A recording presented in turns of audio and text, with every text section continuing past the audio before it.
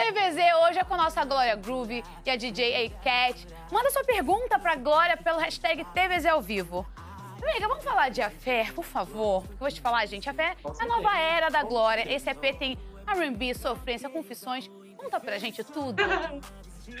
Conto, conto tudo. Na verdade, a Fera é um presente para mim na minha vida. Eu sempre tive vontade de voltar a um projeto inteiro, né, para esse estilo. O R&B sempre teve muito presente nas minhas referências. E eu senti que esse era o momento, né, depois de passar tanto tempo olhando para dentro na quarentena, né, uma coisa que a gente não esperava que fosse ser possível. Nosso estilo de vida era muito agitado, né, amiga? Você que também tá na estrada o tempo todo e fazendo Total. várias coisas, sabe como que é isso. Então a gente sentiu essa essa diferença, né, de tipo de estar tá olhando mais para dentro. E eu percebi, cara, por que não? Foi um grande por que não, sabe? Esse é o momento de, de falar sobre isso. E falar sobre o maior affair da minha vida, né? Que é o affair entre criador e criatura, né? Entre eu ser o Daniel e ser a Glória Groove, e tudo que a Glória Groove me trouxe, e tudo que eu já era sendo o Daniel. Então eu acho que eu tive a sorte e o privilégio de, de experimentar com tantas expressões artísticas diferentes, numa idade tão cedo. E, e o affair saiu realizando um sonho, na verdade, né? Falando agora eu quero até é, ir mais pro íntimo, né? E retratar essa relação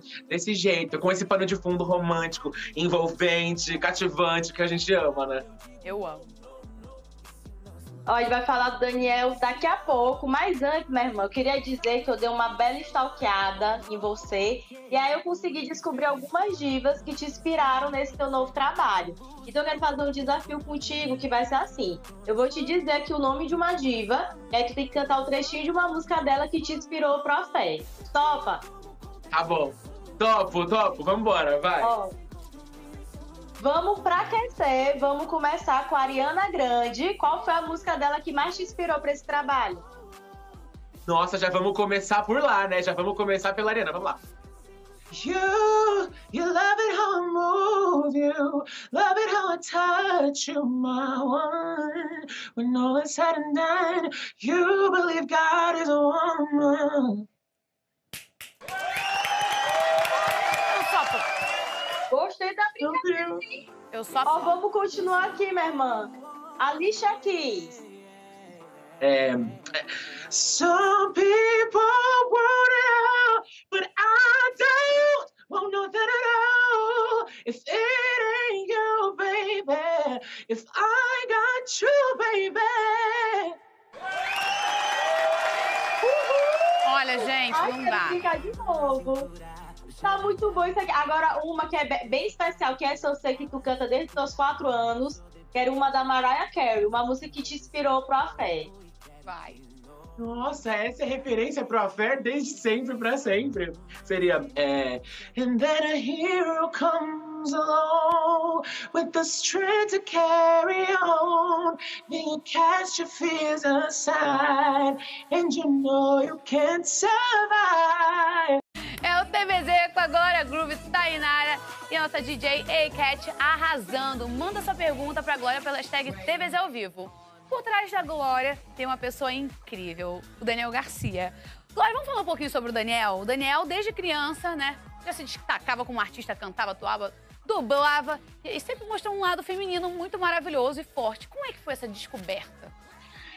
Ai, tanta coisa aconteceu para que eu pudesse me tornar a Glória Groove. Quando eu olho para trás pro tanto de oportunidades que eu tive de me descobrir enquanto artista, é estranho, parece que tudo tava me preparando para viver isso hoje, né? Porque, enfim, acho até maravilhoso ter a oportunidade de ter um espaço como esse para ser até um pouco mais didática, né? Instruir, porque a Glória Groove é a minha expressão artística, né? Ela não é a minha identidade de gênero, a Glória Groove foi só o jeito que eu achei de me comunicar artisticamente com o mundo, né? É isso que é o processo como drag queen, porque justamente como você destacou, a, a música sempre teve na minha vida. Eu sempre cantei, é, sempre tive perto de músicos, sempre tive com a minha mãe que é cantora em um ambiente muito cercado por música. Então eu sabia que eu sabia que a música ia ser o meu meu viés assim pro resto da vida. Eu só não sabia exatamente como que eu ia usar a minha voz. E é quase como se a Glória Groove tivesse me dado essa ferramenta, sabe? Ela conseguiu fazer é, eu sentir o poder que estava atrelado nessa feminilidade, é, que na verdade na minha primeira, na minha segunda infância, né? Boa parte parte da minha vida, assim como a maioria das crianças afeminadas que estão me assistindo aí imaginam e sabem como é, é muito difícil. Você acaba lidando com essas impressões e acaba se convencendo de que aquilo é, tá, tá fazendo de você algo errado, que você, que você tá errado só de ser, sabe? Então demora muito até você conseguir desatrelar essa, essa culpa e você começar a ver aquilo como algo divino, como algo glorioso. E eu acho que foi esse o presente que a Glória Groove me deu enquanto persona artística, sabe? A queria comentar que criança mais fofa, o Daniel pequenininho, coisa Ai. mais linda.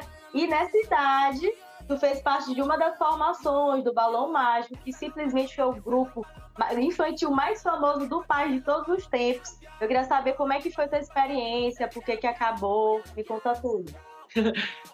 Cara, fazer parte do Balão Mágico aos sete anos de idade, né? Eu, isso foi em 2002. Eu tava na segunda série e eu já tinha um contrato com uma gravadora e a gente viajava no ônibus, com balé, com coisas. Então eu acho que serviu para eu ter uma vivência muito, muito cedo do que é uma vida de turnê, né? Uma vida na estrada, né? E eu vivendo isso como artista já, imagina, estando no ensino fundamental. Então é, eu, eu, eu me divertia muito. Para mim era tudo uma grande brincadeira, porque eu sempre amei estar em cima do palco cantando e dançando. Então eu lembro que o que eu lembro dessa época, assim, o que eu guardo na minha memória dos meus 7, 8 anos, quando eu tava em cima do palco, como o Daniel do Balão Mágico, junto com os outros integrantes, é de me divertir muito. Nosso lifestyle para mim era muito legal, assim, sabe? Para mim era irado quando eu paro para pensar, porque tipo, a gente vivia indo nas festinhas dos filhos dos famosos, dos buffets, e aí podia brincar no, no brinquedão e tal. Tipo assim, assim, era uma vivência de criança artista, então eu lembro de me divertir demais, mas acabou em meados de 2004, eu lembro que eu já emendei isso em diversas coisas, eu acabei, é, foi nessa época que eu acabei ingressando na dublagem também, então muita coisa aconteceu depois do Balão Mágico que abriu muitas portas, com certeza. Eu guardo essa época com muito carinho no meu coração. Aliás, amiga, eu vou falar uma coisa. Daniel é um gato, a Glória é uma deusa. Ah. O que mais você quiser ser, meu amor, eu vou estar tá aqui, ó. Para de me seduzir. Para! Agora! Para! eu vou ir, hein? Amiga, você e outras musas drags, como a Netusa e a Clark, surgiram meio que juntas, né? Foi tipo uma época parecida. O que, que significou, assim, por essa geração brasileira que, que não se sentia representada, sabe? Hoje eu sinto, eu sinto que muita gente se sente representada por você e por ela. Sim, e eu sinto que você viu tudo isso acontecer, né, amiga? Eu sinto que você, assim, assim como muita coisa aconteceu na sua vida na mesma época, você viu esse, esse movimento acontecendo, né? E eu adoro falar sobre isso, porque eu, eu sinto quando, quando eu me dei conta do que estava acontecendo, né? Que eu fazia parte de uma cena muito legal, muito potente, que tinha muito a agregar para a cultura do meu país, musicalmente, é, visualmente. É, isso me deu uma sensação de pertencimento que eu nunca tinha sentido na minha vida, assim, sabe?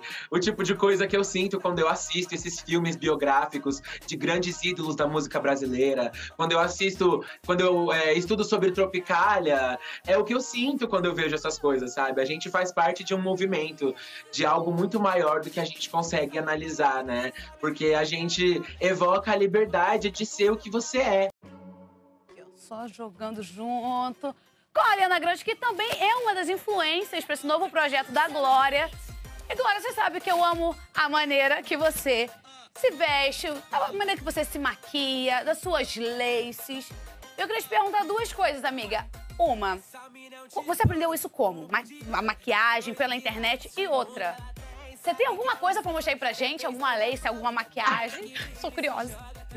Olha, respondendo a sua pergunta, é muito louco isso, porque eu não era o melhor aluno de artes da escola e eu decidi um dia que eu ia me maquiar porque eu ia ser drag queen e o YouTube foi meu melhor amigo nisso. Eu, pode-se dizer que o fundamento de maquiagem que eu sei, eu aprendi no YouTube mesmo, assim, na internet e depois, claro, é, indo pra boate vivenciar as coisas com as drag queens, você acaba aprendendo vários outros truques ainda mais preciosos, né?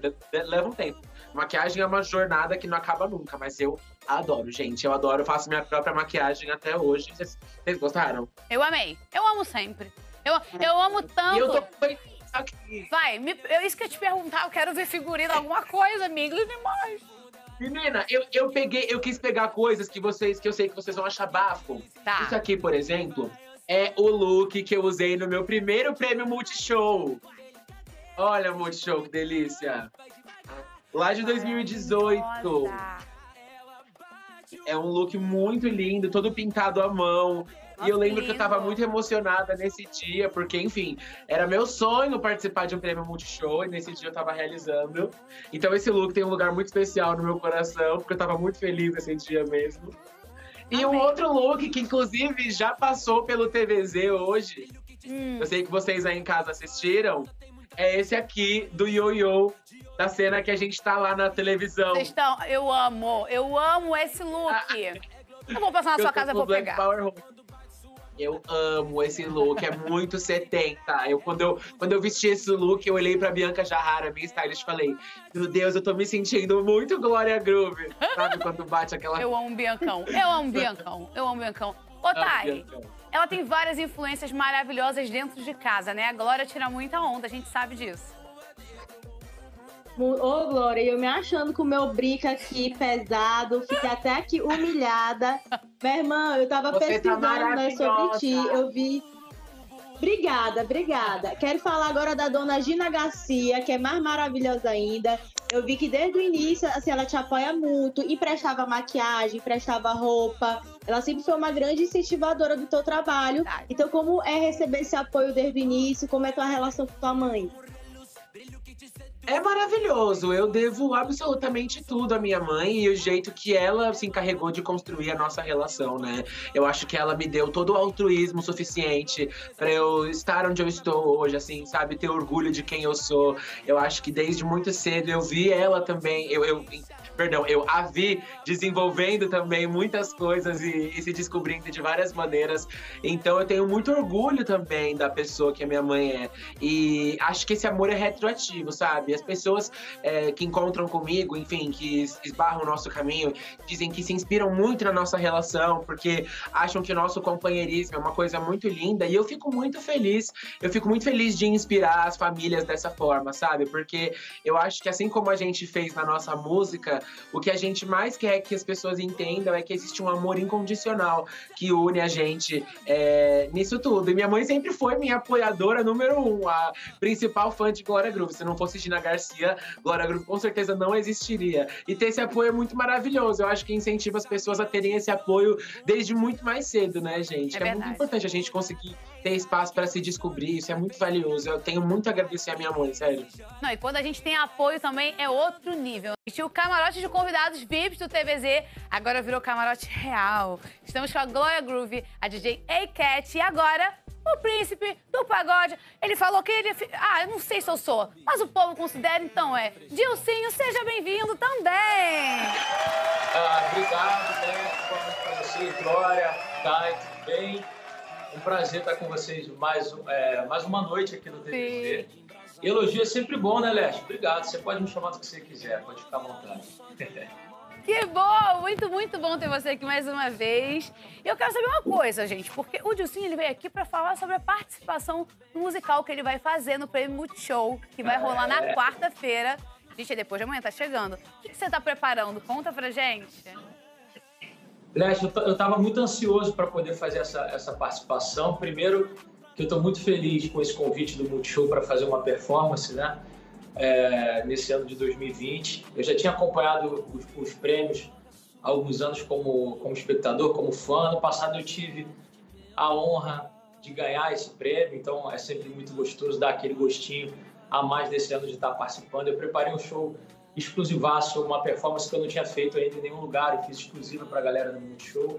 E a gente fez um pupurri com algumas músicas minhas que estão rolando, alguns sucessos. E aí eu peguei algumas coisas que eu gosto, assim, eu tenho muito como referência um pouco desse lado pop que eu trouxe para dentro do pagode, né? eu acreditei nesse lado mais pop dentro do pagode e hoje eu consigo fazer isso nos shows. Então a gente tem um lance que eu faço com os tambores lá, meio Imagine Dragons, meio Plume Group, que a gente está preparando também para a galera. Eu trouxe algumas referências da galera tocando os metais lá, meio Bruno Mars. Então tem, não posso revelar tudo, senão vai ficar muita coisa. Eu ia falar isso agora, porque eu sei que você acabou de chegar do ensaio. Eu vim direto do ensaio pra cá. Inclusive, ano passado, Eu e Glória estávamos juntos performando também no prêmio, que foi tudo, tá? Vem cá, conta pra galera como é essa expectativa, esse bastidor, essa energia, porque você ganhou ano passado, tá concorrendo aí mais uma vez, sempre aí nas cabeças, tirando muita onda. Vem cá, como é que é estar tá concorrendo com uma galera tão maravilhosa? Como é que é apresentar um show tão incrível pra gente? Quero saber como é que tá teu coração. Me fala sobre os bastidores de tudo. É uma responsabilidade muito grande, né? Você tá ali no palco representando artistas do Brasil inteiro e está representando também o meu segmento, que é a galera do pagode. Mas eu fico muito feliz de poder ter sido escolhido, né? Eu acho que o mais bacana desse prêmio é porque é uma votação popular. Então as pessoas te escolhem para estar ali, as pessoas que, te dão esse presente. Então é um prêmio não só meu, quando eu ganhei ano passado, eu dividi esse prêmio, na verdade, com, com toda a galera que, que vota, com, com, os meus fãs, com as pessoas que têm admiração pelo meu trabalho. E esse lance de que a gente participa um ano ganha e ano que vem não quer ganhar de novo, isso é mentira. Eu quero ganhar de novo, então você que está me assistindo, você acha que eu mereço, que eu fiz um bom ano, fiz boas músicas, músicas que tocaram no seu coração, que você curtiu em casa, vota em mim que ainda dá tempo, gente. Ô, Dilcinho, eu tava lembrando aqui que eu vi uma apresentação tua com Raça Negra e aí vocês cantaram um clássico, é tarde demais. E olha como o mundo é pequeno, como o TVZ é pequeno. A gente tá aqui com a Glória Groove. E a mãe dela é back vocal do, do Raça Negra, né? Olha que mundo Nossa, pequeno. isso aí é sonho, Eu queria saber sonho. como é que foi essa parceria. Gente, Raça Negra é influência, é influência na vida de todo mundo, né? Não, o Raça Negra é vida, assim. O Raça Negra é um dos grandes é, percursores do, do, pagode, acho que de, de quebrar barreiras. Assim. Eu, eu, tenho eles como muita influência, porque o pagode ele é muito eixo Rio-São Paulo, e o Raça Negra conseguiu levar para o Brasil todo é, a música que a gente faz hoje, né? para o Nordeste, Norte, para os quatro cantos do, do, país. E eu fui, eu fiz um programa junto com eles. A gente fez o, o Conversa com Bial e a gente cantou junto. Você jogou fora o amor que eu te dei os sonhos que sonhei, isso não se faz.